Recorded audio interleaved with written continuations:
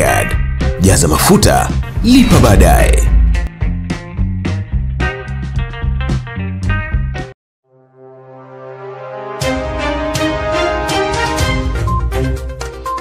Ni news update ya Dar24. Jina langu ni Happiness Kelly. Ungana nami nikikuletea taarifa za mataifa mbalimbali zilizotufikia kwa siku ya leo.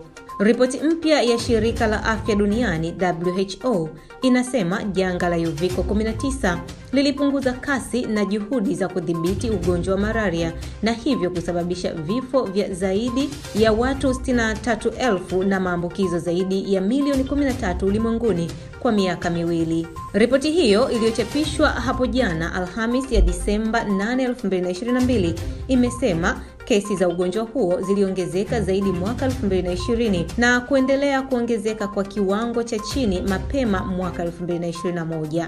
Through uh, disruptions of essential uh, malaria services and through pressure on um, national economies and uh, several other disruptions, the pandemic has had an impact even though uh, countries have managed to um, prevent the worst case scenario. Over the two years of the pandemic, uh, we estimate that about 63,000 additional deaths and about 13 million additional cases were due to disruptions during the COVID-19 pandemic. The disruptions due to the pandemic continues to pose uh, risks to malaria control. But it's, important to highlight that even before the pandemic, global progress against malaria had stalled.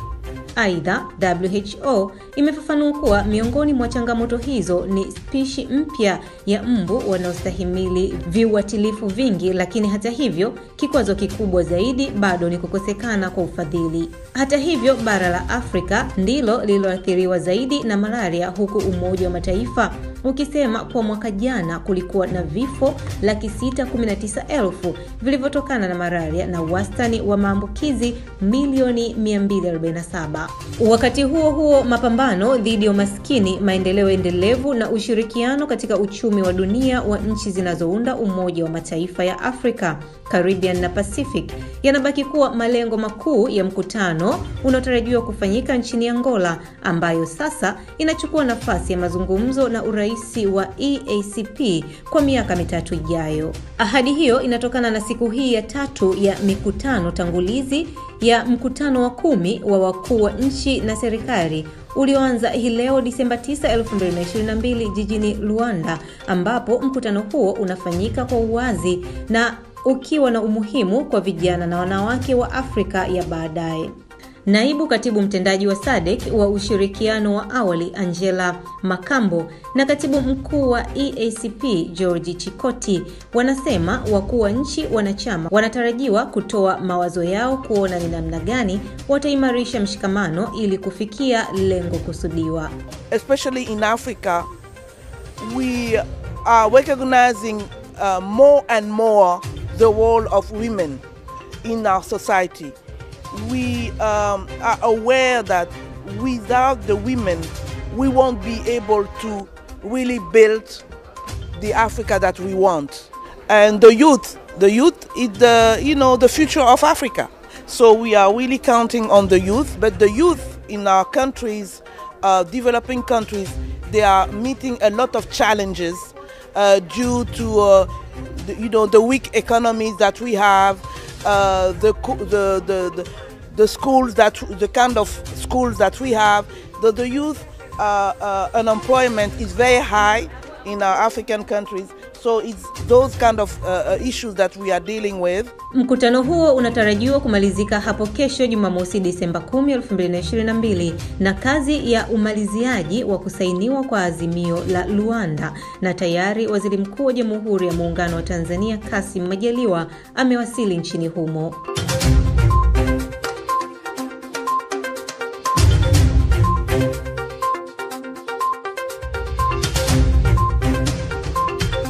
Na waasi wa kundi la wapiganaji wa M23 wanadaiwa kuwaua raia 131 katika eneo la mashariki mwa nchi ya kidemokrasia ya Kongo DRC Novemba 29 na 30, 2022.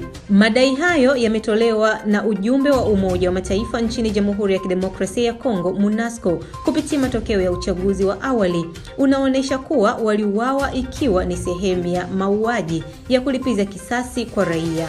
MONUSCO imeongeza kuwa waliouawa ni wanaume 102, wanawake 17 na watoto 12 na waliopigwa risasi za moto au silaha zingine bila ya kujali athari za matokeo. Aidha, Umoja wa Mataifa UN umesema watu wanane walijeruhiwa kwa risasi na wengine 60 kutekwa nyara huku karibu wanawake 22 na wasichana watano wakibakwa. Hata hivyo, serikali jijini Kinshasa imesema watu 300 takriban wote wakiwa ni raia walifariki dunia katika mashambulizi ya M23 katika kijiji cha Kishise kilichopo mkoa wa Mashariki wa Kivu Kaskazini, huku M23 ikikanusha kuhusika na mauaji hayo.